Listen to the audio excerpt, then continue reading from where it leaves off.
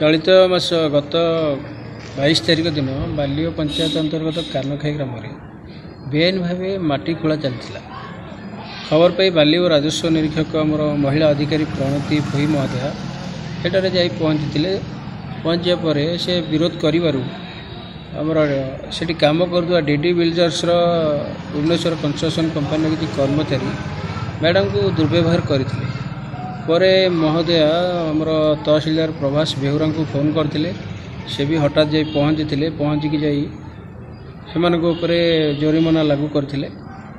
ସେଇ ଖବର ଭିତ୍ତିରେ ସମ୍ବାଦ ପେପରରେ ମୁଁ ଗତ ତେଇଶ ତାରିଖ ଦିନ ସମ୍ବାଦରେ ଖବର ପ୍ରସାରଣ ହୋଇଥିଲା।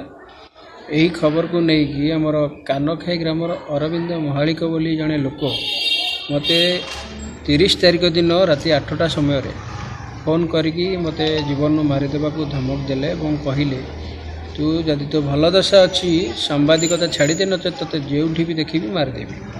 ଆଉ କାନଖାଇ ଗ୍ରାମରେ ତୋ ମୁହଁ ମୁଁ ଦେଖିବାକୁ ଯେମିତି ନ ପାଏ ଏଇ ଭିତ୍ତିରେ ସେ ବି ଅନେକ କିଛି କଥା କହିଛନ୍ତି ଯେ ମନ୍ତ୍ରୀ ମୋ ହାତରେ ଥାନା ବି ମୋ ହାତରେ ତୁ କେଉଁଆଡ଼େ ଯିବୁ ଯା ମୋ ନାଁରେ ଯେଉଁଠି ବି କେସ୍ କରିବୁ ମୋର କିଛି ବି ହେବନି ଆଉ ମୋ ସୁରକ୍ଷାରେ ଡିଡି ବିଲ୍ଡର ସେଠି କାମ କରୁଛି ତୁ କ'ଣ ତାଡ଼ିବାର ଅଛି ତାଡ଼େ।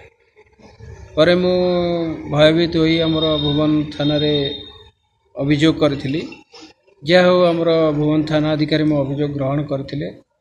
ଖୁବ୍ ଶୀଘ୍ର ତା'ର ପଞ୍ଜୀକୃତ ହୋଇଥିଲା। ପଞ୍ଜୀକୃତ ପରେ ସେ ଆସାମୀକୁ ବି ଖୋଜା ଯାଇଥିଲା। ବର୍ତ୍ତମାନ ସୁଦ୍ଧା ବି ତା'ର ତଦନ୍ତ ଜାରି ରହିଛି।